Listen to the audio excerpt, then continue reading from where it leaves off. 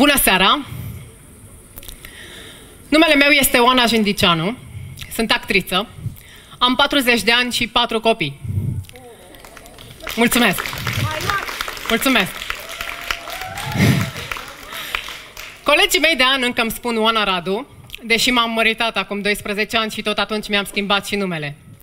Ceilalți colegi îmi spun, care Oana? Aia cu mulți copii? Probabil o să-mi schimb numele din nou, pentru că oricum Jindiceanu e greu de ținut minte și greu de pronunțat. O să mă cheme Oana X Radu, cea cu mulți copii, sau, dacă ajung la Hollywood, Jane Many Children. Mi-a luat foarte mult timp să scriu acest text, pentru că am vrut ca în cele 5 minute pe care le am la dispoziție să vă arăt tot ce știu, să vă arăt că sunt de deșteaptă și de talentată, să vă povestesc toate primele dăți care m-au marcat, să vă fac să râdeți în hohote și să plângeți cu sughițuri în același timp, dacă se poate, apoi să vă întrebați în cor, băi, unde a fost fata asta până acum? Păi să vă povestesc. În 2006 am uh, terminat facultatea cu aceeași idee fixă cu care am început-o, că voi schimba lumea. De asta ne-am făcut artiști, nu? Am zis că eu uh, nu mă voi conforma sistemului. Eu voi fi acest Picasso al teatrului românesc. Ba chiar și acest Sergiu Nicolescu la nevoie. Uh, eu scriu, eu joc, eu montez, eu fac lumini, eu spăl pe jos, fac tot. Pentru că la o adică tot ce contează este să ai talent și să muncești. Așa am învățat la facultate. Talent am, la facultate mi-au spus, de muncit muncesc, deci totul trebuie să fie ok, nu? Și așa am ajuns să joc în toate beciurile din București, disponibile la vremea aceea pentru independenți. M-am mers la audiții, na, mă descurcam chiar binișor, doar că m-am îndrăgostit. Rău, rău de tot. Se pare că și el, pentru că ne-am căsătorit și avem cei patru copii împreună. Bine, el nu știa că avea să trăiască lângă o actriță care nu joacă. Încă trăiește. Bine, dacă asta se poate numi viață.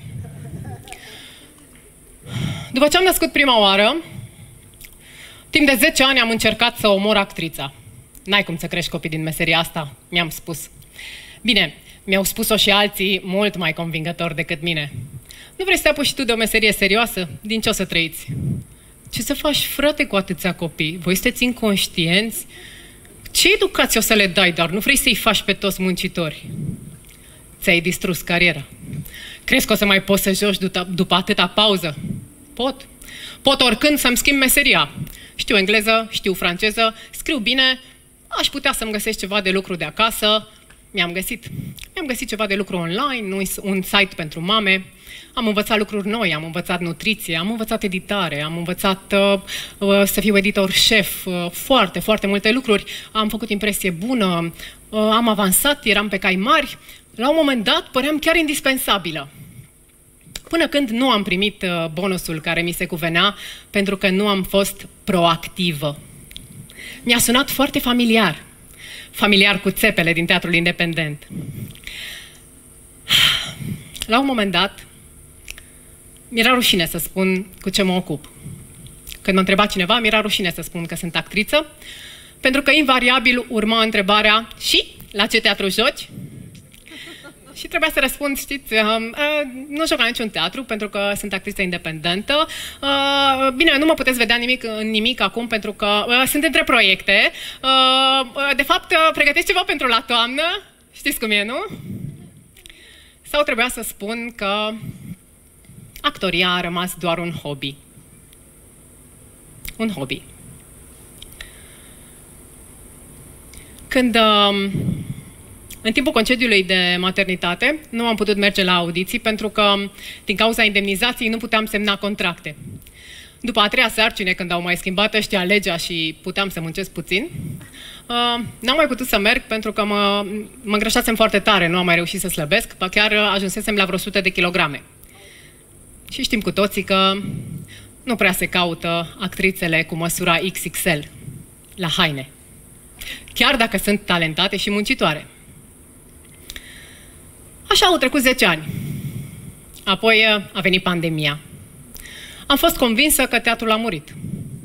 Asta a fost. A fost ucis cu sânge rece, gata. Îmi și suna așa în minte ca un ecou. Gata, Oana. Asta a fost. Teatrul a murit. Și atunci am intrat într-o panică, soră cu moartea, și am zis așa, păi dacă ăsta e sfârșitul și urmează să murim toți, eu nu vreau să mor până nu mai șoc măcar o dată.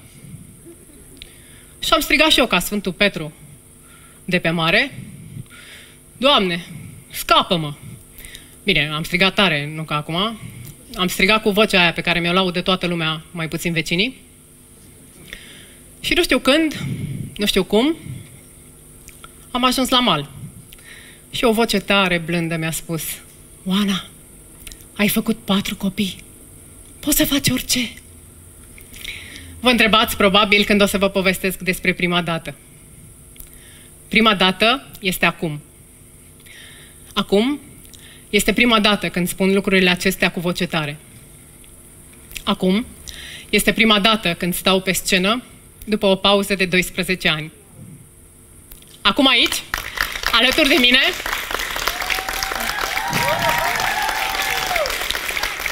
Acum aici, alături de mine, sunt niște oameni la care țin foarte mult, care mă văd pentru prima oară jucând. Mă numesc Oana Jindicianu, am 40 de ani și nu am reușit să omor actrița.